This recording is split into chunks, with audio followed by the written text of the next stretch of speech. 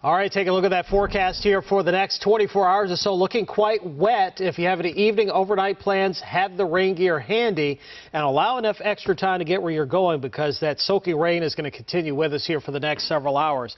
We're tracking a few spotty showers across uh, really the metro area and off towards the north and east up I-95 in Harford and Cecil County. The steadier rain is still just off to our south. You can see from Havre de Grace up towards Elkton, some spotty showers there back into western Howard County, Woodstock to West Friendship back towards Glenelg.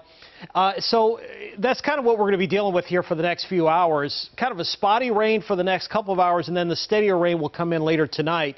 It looks like we're going to start to dry things out, though, to close out the work week, even though we'll still have a slight chance for some showers around on Thursday. Looks like as we get towards Friday, mainly dry and then more rain coming in for Preakness.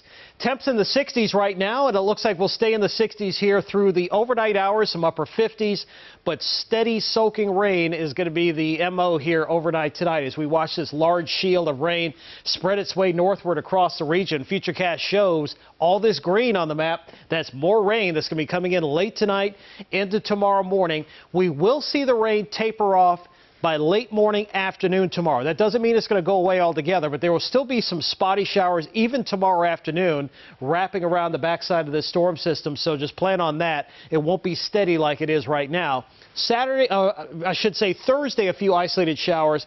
Friday looks dry, then Saturday, Looks like the wet weather makes its return to the area, and that's where we're going to be dealing with that coming up on Preakness. So here's a look at your forecast for tomorrow. 65, highest rain chances in the morning, although we'll have a straight shower continuing into the afternoon tomorrow.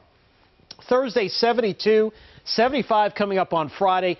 Friday actually looks to be the better of the two days at Pimlico, but as we take a look at the forecast on Saturday for the Preakness Stakes, we're looking at temperatures into the low to mid 60s, east wind at about 5 to 10 miles per hour, just wet pretty much all day long. Friday right now looks dry, just cloudy.